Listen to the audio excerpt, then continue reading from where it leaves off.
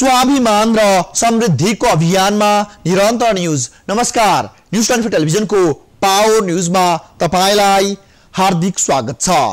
दर्शकवृन्द भैर हावामा निर्माणाधीन गौतम बुद्ध क्षेत्रीय अन्तर्राष्ट्रिय विमानस्थलको काम निकै सुस्त गतिमा अगाडि बढेको छ। चीनको north west civil aviation airport construction ग्रुपले छ अर्ब बाइस करोडमा ठेक्का पाएको यो राष्ट्रिय गौरवको आयोजना अहिलेसम्म छब्बिस प्रतिशत मात्रै काम सम्पन्न भएको छ। सन् दुई हजार अठारको जुनसम्ममा निर्माण सम्पन्न गरिसक्नुपर्ने भए पनि ठेकेदार कम्पनीले निकै सुस्त गतिमा काम गरेको प्रति स्थानीयले चिन्ता व्यक्त गरिरहेका छन्। र आजको पावर न्युज यसै विषयमा केन्द्रित छ। गौतम बुद्ध अन्तर्राष्ट्रिय विमानस्थल देशकै महत्त्वपूर्ण आयोजना मध्येको एक हो। तिरुभुवन अन्तर्राष्ट्रिय विमानस्थलको विकल्पको रूपमा हेरिएको यो विमानस्थलको निर्माण सुस्त गतिमा अगाडि बढेपछि अहिले निराशा बढेको छ। अनुकूल वातावरण भइकन पनि गौतम बुद्ध अन्तर्राष्ट्रिय विमानस्थलको निर्माण सुस्त गतिमा अघि बढेको भन्दै नागरिक चिन्तित बनेका छन्। चीनको सरकारी company north west civil aviation airport construction ग्रुपले निर्माणको ठेक्का लिएकोमा अहिलेसम्म कम्तीमा तिस प्रतिशत निर्माण सम्पन्न भइसक्नु पर्ने ठाउँमा छब्बिस प्रतिशत मात्रै पुरा भएको छ। निर्माण सामग्रीको उपलब्धता र मौसम समेत अनुकूल हुँदा पनि काम हुन नसक्नुका पछाडि ठेकेदार कम्पनीकै लापरवाही भएको प्रश्न देखिएको छ। यो समय अनुकूल भए पनि काम भने त्यस अनुसार हुन सकिरहेको छैन। सबैभन्दा बढी कामले गति लिनुपर्ने समयमा समेत काममा सुस्तता हुँदा निर्धारित समयमा परियोजना सम्पन्न हुनेमा आशंका उब्जिएको छ। राजधानी बाहिरबाट विमान चढ्ने सपना झन लम्बिँदै गएको छ। गत वर्ष नाकाबन्दी र नदीजन्य पदार्थको अभावमा समेत तुलनात्मक रूपमा कामले गति लिएको योजना अहिले एकाएक सुस्त भइदिएको छ। अघिल्लो वर्षको तुलनामा यस वर्षको कामको प्रगति विवरण सन्तोषजनक देखिएको छैन। यसमा ठेकेदार कम्पनीकै कमजोरी भएको प्रष्टै देखिन्छ आयोजनाको प्रथम चरण अन्तर्गत सन् दुई हजार सत्रमा सम्पन्न गर्ने लक्ष्य लिएको विमानस्थलको निर्माण अवधि भूकम्प नाकाबन्दी लगायतका समस्याले छ महिनापछि अर्थात् सन् दुई हजार अठारको जुन पन्ध्रमा पुगेको छ। यदि यो अवधिमा निर्माण सम्पन्न हुन नसके ठेकेदार कम्पनीले प्रतिदिन बत्तीस लाख रुपियाँ भन्दा धेरै आयोजनालाई क्षतिपूर्ति दिनुपर्ने सम्झौतामा उल्लेख गरिएको छ।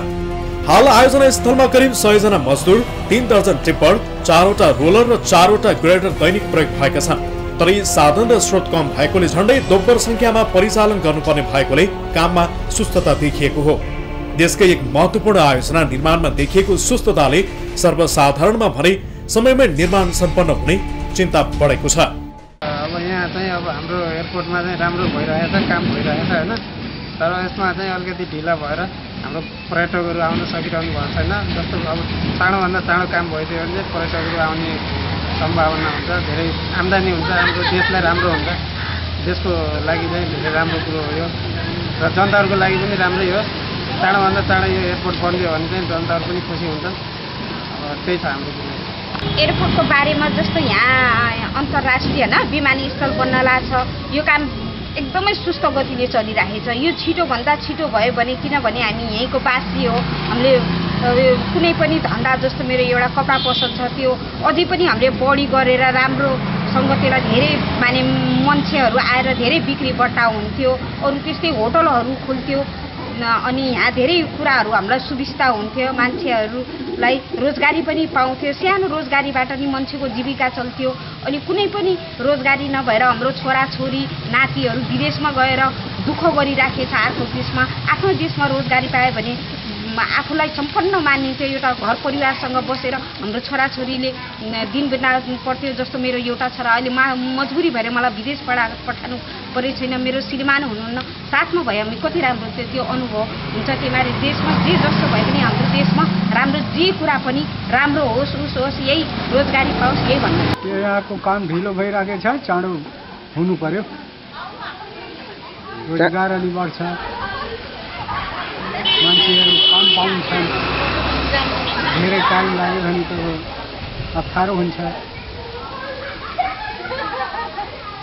ए बहुत ढिलो भयो छिटो गर्नुपर्छ क्या यो पेट अन्तर ए अन्तर्राष्ट्रिय कि त्यो के के भन्छ कि सानोमै छ? अन्तर्राष्ट्रिय हो।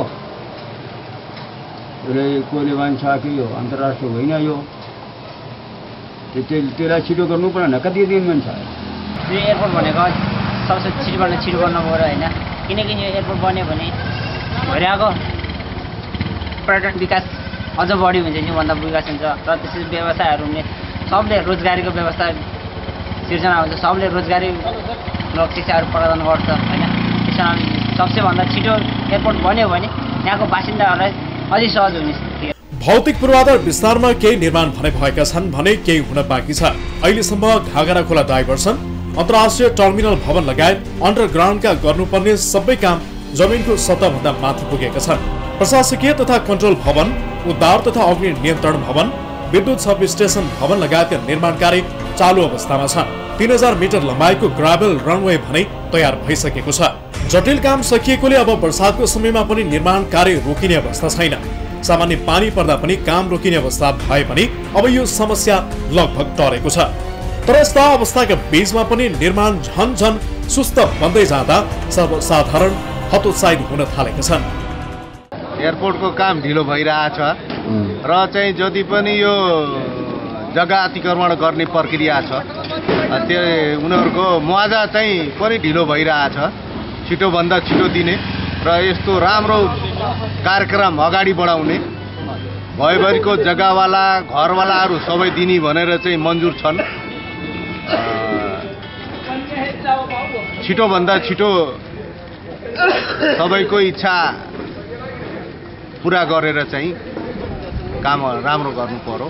यो एयरपोर्टको निर्माण सम्बन्धी काम चाहिँ धेरै अबेला र एकदम के लेट भयो। अब यसलाई चाहिँ फेरि के भन्छ अलि व्यवस्थित गरेर सक्- सक्दो चाँडो चाहिँ यसलाई भ्याएर के भन्छ सकेसम्म चाँडै यसलाई सुचारू गर्नु पर्यो। यो नेपालकै एउटा मुख्य केन्द्रबिन्दु रहेको गौतम बुद्ध विमानस्थल जुन बन्ने समयमा बन्नुपर्ने हो त्योभन्दा निकै नै ढिलासुस्ती भएको हामी जनमानसहरूले देखिरहेका छौँ र भोगिरहेका पनि छौँ। यो सम्बन्धित निकायले या हो कि यो अब चाहिँ ठेकदार कहरूले हो यो काम छिटोभन्दा छिटो सम्पन्न गरी यहाँका स्थानीय बासिन्दाहरूलाई एउटा पर्यटकीय स्थलको रूपमा रहने यो लुम्बिनीलाई छिटोभन्दा छिटो चाहिँ पर्यटकीय स्थल विकास गरी देशको आन्तरिक पर्यटन बाह्य पर्यटन लगायत यो आर्थिक सङ्कलनमा पनि यसको चाहिँ ठुलै राहत हुने हुँदा यो काम छिटोभन्दा छिटो सम्पन्न गर्दा गर्नलाई सम्बन्धित निकायले ध्यान दिए। उच्च मूल्याङ्कनसहित यो चाहिँ छिटोभन्दा छिटो सम्पन्न गर्न गर्ने यहाँ देखिरहेको छ। त्रिभुवन अन्तर्राष्ट्रिय विमानस्थलको चाप कम गर्ने मात्र होइन बौद्ध मार्गीलाई समेत केन्द्रित गरी निर्माण सुरु गरिएको आयोजनाको निर्माणको सुस्तताले सबैमा शास्ति पर्ने पक्का छ। यसमा सरकारवालाको चासो र राज्यको निगरानी निरन्तर आवश्यक भने देखिएको छ। दर्शकवृन्द एकातिर स्थानीय चिन्तित छन् तर ठेकेदार कम्पनीले कामको रफ्तार अगाडि बढाउनै सकिरहेको छैन। हामी बाँकी सन्दर्भसहित आउनेछौँ तर त्यसअघि एकैछिन विश्राम। दर्शकवृन्द न्युज ट्वेन्टी फोर टेलिभिजनमा पावर न्युज बिच हुनुहुन्छ तपाईँ र हामी सुस्त गतिमा भइरहेको गौतम बुद्ध क्षेत्रीय अन्तर्राष्ट्रिय विमानस्थलबारे केन्द्रित छौँ। अब प्रस्तुत गर्छौँ विमानस्थल छिटो बनोस्। यो हेर्नुहोस्। ठिक छ भनेको समयमा सकिएन एक आध महिना दुई महिना ढिला भयो भन्दाखेरि तुलनात्मक हिसाबले अरू आयोजनाको तुलनामा फेरि त्यसको इकोनोमिक इम्प्याक्ट भने म त्यति धेरै भयावह हुन्छ भन्ने म ठान्दैन है किनभने कन्ट्र्याक्टरले एक आध महिना ढिला भयो भने हामीले त्यसको मुआवजा के अरे उसँग चाहिँ क्षतिपूर्ति तिरेर भए पनि लिक्विडेटेड ड्यामेज लिएर पनि हामीले पेनाल्टी लिएर हामी उसबाट काम लिन सक्ने स्थिति बन्न सक्छ। एक आध महिना ढिला भने या रिजनेबल कज भयो भने त्यसलाई म्याद थप्ने कुरो पनि पछिल्लो अवधिको कुरो त्यो एघार महिनाको हिसाब हो। त त्यो ढङ्गले अहिले हामीले उहाँलाई त्यो चाहिँ एक्जिम्सन दिएर त्यो कामको निमित्त ढिलाइ गर्ने कुरोमा हुन सक्दैन। हामी चाहिँ एक्सनमा जान्छौँ नै। टर्नेसमा जाने गरी जाने मैले पहिले भनिसकेको छु त्यो खालको देखिएन भने सामान्य कुरा प्रयत्न हुँदा गर्दा गर्दै पनि केही ढङ्गले कामलाई अलिकति पछाडि धकेलियो भने त्यस्तो कुरोलाई कन्सिडरेबल हुन्छ र एक आध महिना ढिला भएको अवस्थालाई हामी त्यति भयङ्कर चाहिँ त्यति धेरै ठुलो नोक्सानी भइहाल्छ राष्ट्रलाई भन्ने कुरो सोच्ने कुरो चाहिँ नगरिकन हामी त्यो गर्ने कोसिस गर्ने अवस्थामा रहन्छ। तर जोस् कामलाई चाहिँ समय सीमामा सक्ने टार्गेट लिएर अगाडि बढ्नुपर्छ। आयोजना प्रमुख ओम शर्माले यस्तो दावी गरे तापनि यो शैलीमा निर्माण सम्पन्न हुनेमा भने आशंका सबैमा व्याप्त छ। देशमा रहेका हरेक आयोजनाले भोग्दै आएको नियति यसमा पनि दोहोरिनु। सम्बन्धित कार्यालयको पनि कमजोरी हो र राज्यको पनि कमजोरी हो। पछिल्लो समय प्रगति सन्तोषजनक नभए पनि परियोजनाको निर्माण समयमै हुने परियोजनाले दावी गर्दै आइरहेको छ। निर्माण कम्पनीले आर्थिक व्यवस्थापन राम्ररी गर्न नसक्दा निर्माणको कामले चाहे जति गति लिन नसकेको स्वीकार्दै यसको व्यवस्थापनमा लागेको आयोजना प्रमुख ओम शर्माले दावी गरे। काम ढिलो कुरो स्वीकार्छु टाइम लाइनभित्र हुन सक्छ यसलाई अझ ढिला भयो भने मैले भनिसकेँ नि त योभन्दा अहिले जुन देखिएको छ यो कुरो अझै बढ्दै जाने हो भनेदेखि त टर्मिनेसनको प्रोसेसमा जानुपर्ने स्थिति आउँछ कि भन्ने खालको जुन मैले शङ्का व्यक्त गरिरहेको छु त्यसले गर्दा ढिलो भएको त अवस्था पनि छ त्यसलाई म स्वीकार्छु। तर ढिलो भएको यति हो कि ढिलो भएको कारणले त्यति धेरै निराशा बन्नुपर्ने अवस्था पनि होइन। यसलाई ट्र्याकमा ल्याएर चाहिँ समय सीमाभित्र सक्न सकिने सम्भावना बाँकी रहेको कारणले गर्दाखेरि यो खालको चाहिँ इन्करेजिङ आवश्यक ठाउँमा इन्करेजिङ पनि गर्ने उहाँलाई आवश्यक त्यस्तै खालको आवश्यक परिस्थिति छ भने कतिपय कानुनी कारवाही पनि अगाडि बढाउने कन्ट्याक्चुअल कारवाही पनि अगाडि बढाउने त्यो खालको ढङ्गले उहाँलाई अवेरनेस गर्ने कुराहरू गर्दै समयमा काम सु सिद्ध्याउनुको लागि हाम्रो प्रयत्न भइरहनु पर्ने स्थिति छ। अब यदि उहाँहरूले भन्नुभएको छ भने त मसँग चाहिँ आर्थिक सङ्कट पर्यो भनेर निवेदन राख्नु भएको छ। मैले त्यो कुरोलाई कसरी भनौँ यो चाहिँ विवादको विषय भनौँ उहाँहरूले निवेदन राखेर हाम्रो फाइनेन्सियल क्राइसिसमा छौँ हाम्रो चाहिँ भइरहेको हामीले पेस गरेको बिललाई चाहिँ छिटो रिलि- रिलिज गरिदिनु पऱ्यो त्यसभन्दा बाहेक हाम्रो चाहिँ पहिले भएको त्यो एडभान्स पेमेन्टको रिपेमेन्ट जुन थियो त्यसलाई पनि रिलिज गरिदिनु पर्ने चाहिँ आफ्नो फाइनेन्सियल क्राइसिस भनेर त्यही उड प्रयोग गर्दै लिखित रूपमा मसँग आग्रह गर्नुभएको छ। कन त्यो पनि कन्सल्ट्यान्ट थ्रु हाम्रो कन्सल्ट्यान्ट टिम टिमसँग उहाँहरू कन्सल्ट गर्दै आउने हो मगा आउँदाखेरि आइपुग्नु त्यसरी आउने हो। त्यसरी आइरहेको छ र हामी देखिरहेका छौँ। सबै ठाउँमा लेबरको पेमेन्ट मेटेरियलको पेमेन्ट इक्विपमेन्टको पेमेन्ट यी सबै कुरामा चाहिँ सहजतापूर्ण ढङ्गले पेमेन्ट नभइरहेको प्रष्ट म अवस्था देखिरहेको छु भने मैले उहाँहरूलाई बैठकमा समेत हामी गाह्रो अवस्थामा चाहिँ भइरहनु भएको छ भने उहाँहरूको त्यो तपाईँसँग कसरी भन्नुभयो त्यो मलाई मैले त्यो त्यो बुझ्ने कुरो विषय भएन तर पनि यथार्थ मैले देखिरहेको उहाँहरूको क्राइसिसको अवस्था यो फाइनेन्सियल समस्याको अवस्था चाहिँ हो। त्यसैको लागि त्यसै कारणले हामीले उहाँको चेयरम्यानलाई यहाँ बोलाउने भनेर हामीले सम्पर्कको लागि बोलाएका छौँ। सम्भवतः आजको दिनमा आउने उहाँलाई हामीले भनेका थियौँ केही दिनपछि चाहिँ उहाँहरूको भाइस प्रेसिडेन्ट आउने भनेर मैले भर्खरै पनि खबर सुनेको छु। उहाँ आएपछि हामी यो बारेमा डिटेलमा छलफल गर्छौँ। र उहाँको अवस्था के हो? यदि पर्दैन समस्या छैन भने त राम्रै हो काम त्यसमा देखिनु पऱ्यो अगाडि बढ्नु पऱ्यो काम चाहिँ। त्यो कारणले रोकिनु भएन। निर्माणमा सुस्तता भएको सङ्केतपछि दात्री निकाय एसियाली विकास बैंक अर्थ मन्त्रालय नागरिक उड्डयन विभाग आयोजना लगायतका निकायहरूको समीक्षा बैठकले तोकिएको समयभित्रै आयोजना सम्पन्न गराउन ठेकेदार कम्पनीलाई समय सीमा निर्धारण गरिदिएका छन्। बैठकले यस वर्षको मार्चसम्ममा तीस अप्रिलसम्ममा तेत्तिस मेसम्म अडतिस र जुनसम्म चौवालिस प्रतिशत निर्माण कार्य सम्पन्न गर्न लक्ष्य दिएको छ। यसरी आयोजनाको म्याद थपेर भए पनि सन् दुई हजार अठार जुनसम्ममा कुनै पनि हालतमा निर्माण सक्नुपर्ने सीमा तोकिएको छ। लक्ष्य अनुरूपको निर्माण कार्य गर्न नसकेमा कारवाही गर्ने सम्झौतामा उल्लेख गरिएको छ। तर यता निर्माण कम्पनीले आफूलाई केही आर्थिक सङ्कट परेको भन्दै कामले गति लिन नसकेको जानकारी गराउँदै परियोजनालाई पत्र समेत लेखेको छ। तर परियोजना कार्यालयको तर्फबाट भने ठेकेदार कम्पनीको अध्यक्षलाई मार्च पाँच भित्र परियोजनामा आउन पत्रचार गरेको छ भने उसले देखाएको आर्थिक समस्याको समेत व्यवस्थापन हुने दावी गर्दै आइरहेको छ। यसका बारेमा आयोजना प्रमुख यस्तो भन्छन्। काम चाहिँ ढिलो भएको कुराको निम्ति अहिले हामीहरू समय चाहिँ झन्डै पचपन्न पर्सेन्टभन्दा बढी समय हाम्रो बितेको छ।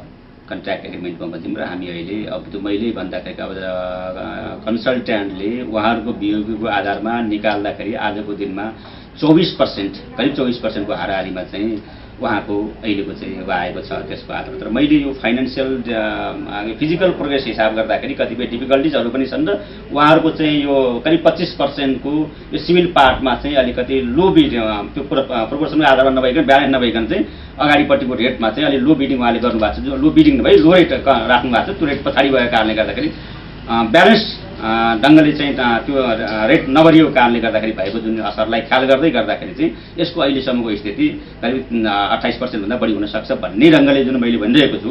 त्यो अवस्था भनेको अझै साँच्चै भन्यो भने उहाँहरूको फेभरमा गरेको कुराकानी हो। खासमा हेर्दाखेरि अठाइस पर्सेन्ट हारा फिजिकल प्रोग्रेस जुन फाइनेन्सियल प्रोग्रेसको हिसाबले हेर्दाखेरि चौबिस पर्सेन्टको हाराहारी छ भनेपछि यो स्थितिमा चाहिँ कन्ट्र्याक्टरले अब मैले ढिला भएको छैन भन्ने कुरो त उहाँले भन्न मिल्दैन। तर ढिला नगरिकन समयमा सक्नुहुन्छ भनेदेखि त्यो सक्नेप्रति मेरो शुभकामना चाहना अपेक्षा र त्यो आग्रह पनि त्यो खालको रहेको छ उहाँहरूसँग चाहिँ। सकिदिनु भयो भने त ढिला हुँदैन नि त समयमा सक्नुभयो भने। त्यो राम्रै भयो।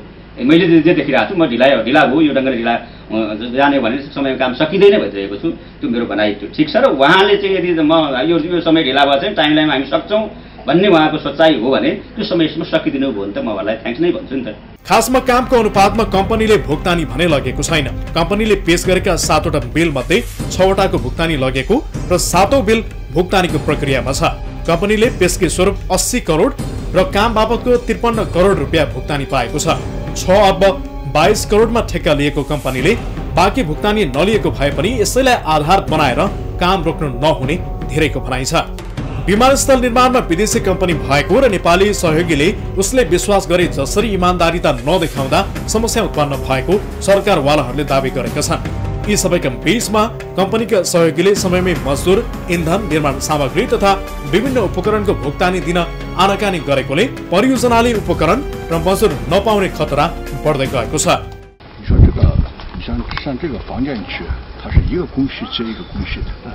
这个，你像像这个房建区，它是一个工序接一个工序的，这个工序干不完，你就是上下一个工序就没办法开始。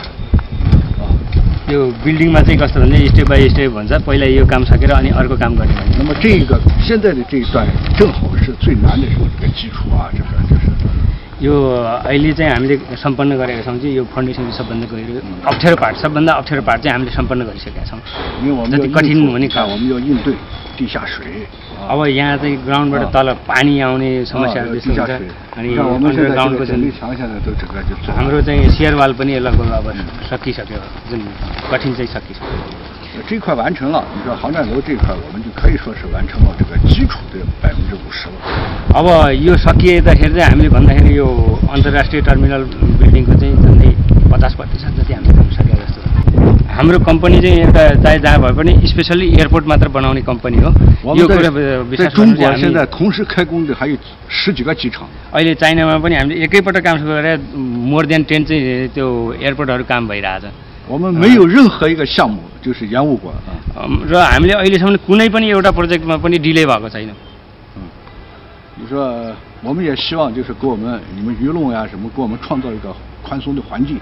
我们把这个中国人付出在这了，也希望他们能公正的说话，这是。 अब मैले पनि आशा लिएको छु कि तपाईँहरूले पनि सहयोग गर्नु होला चाइनिजहरूले पनि अपेक्षा गरेको त्यही हो सबै 你 सहयोग 说我 गर्ने 们 हामी 我们对这 सम्बन्ध 个 गर्नु। 项目干完按期完工是有信心，你说啊。 र यो समय अवधिभित्रै यो सम्पन्न गराउने चाहिँ मसँग आशा छ ठेकेदार कम्पनीले आफूले प्रयोगमा ल्याएका टिप्पर स्काभेटर डोजर लगायतका विभिन्न उपकरण निर्माण सामग्री इन्धनको भुक्तानी दिन नसक्दा सम्बन्धित धनीले आयोजनालाई दिन मानेका छैनन्। ठेकेदार कम्पनीसँग सम्झौता गरेका विभिन्न पेटी ठेकेदार आपूर्तिकर्ता सहयोगीले पनि पैसा नपाएकोले बजारमा धेरैजनाको भुक्तानी रोकिएको छ। यसअघि पनि कम्पनीका नेपाली म्यानेजर नारायण कार्केलाई योजनाबद्ध ढङ्गले भगाइएपछि समस्या उत्पन्न भएको थियो। तर ठेकेदार कम्पनीले आफूलाई अनुकूल हुने जो कोहीलाई पनि नियुक्त गर्न स्वतन्त्र भएकोले उसले को कस्तो व्यक्तिलाई नियुक्ति गरेको छ भन्ने विषय आयोजनासँग कुनै सरकार नहुने आयोजनाका प्रमुख शर्माले बताए। अवस्थामै छु र गरिरहेको पनि छु उहाँलाई अप्ठ्यारो कहीँ परेको भने हामी फेसिलिटेसन गरौँ भनेर लागेका छौँ। हामी एडिबी मन्त्रालयमा छलफल गरेर उहाँलाई फेसिलिटेसन यसरी गरौँ भनेर समेत त्यो रिपेमेन्टलाई रिलिज पनि गर्ने काम गऱ्यौँ। अरू पनि केही उपायहरू छन् उहाँलाई सहयोग गर्न सक्ने ठाउँहरू छन् त्यो गरौँ भनेर सोचिरहेका छौँ र त्यो जरुरी होइन हामी काम गर्न सक्छौँ भन्नुभयो भने त धेरै राम्रो भयो नि त यसरी उहाँले गर्न सक्नुहुन्छ भने। यो विवादको विषय हो भन्ने मलाई लाग्दैन। अहिलेको सिचुएसन भनेको उहाँहरूको प्रब्लम फिल्डमा देखेको फाइनेन्सियल म्यानेजमेन्ट या यदि छैन भने म्यानेजमेन्ट राम्रोसँग हुनु पऱ्यो फाइनेन्सियल म्यानेजमेन्ट हुनु पऱ्यो या अरू खालका सबै म्यानेजमेन्ट राम्रोसँग गरेर काम अगाडि बढ्नु पऱ्यो यसरी देशको एक महत्वपूर्ण आयोजना निर्माणमा देखिएको अन्यलताले थप समस्या सृजना गरेको छ भने देशको हरेक आयोजनामा दोहोरिने नियमित समस्याले सबैलाई पिरोल्न थालेको छ। दर्शकवृन्द कुनै पनि बहानामा निर्माण कार्यलाई सुस्त गरिनुहुन्न। अहिलेसम्म एक अर्ब तेत्तिस करोड भन्दा बढी रकम चिनिया कम्पनीलाई निकासा भइसकेको छ। तर पनि समयमै काम पुरा नहोला कि भन्ने चिन्ता आम मानिसले जायज रूपमा व्यक्त गरिरहेका छन्। त्यसैले समयमै काम पुरा गर्न दबाव दिन जरुरी देखिन्छ। रिपोर्टिङका लागि रूपन्देही स्थित टिभी जर्नलिस्ट कृष्ण पाण्डेलाई धन्यवाद र यति नै आजको पावर न्युज। थप न्युजका लागि हाम्रो website W W W dot news Nepal dot टिभीमा हेर्नुहोला। साथै हामीलाई फेसबुक ट्विटर र युट्युबमा पनि फलो गर्न सक्नुहुन्छ। अहिलेलाई बिदा दिनुहोस्। हामी पुनर्निर्माण सबल नेतृत्व र सुशासनको निरन्तर फलोअपमा छौँ। नमस्ते।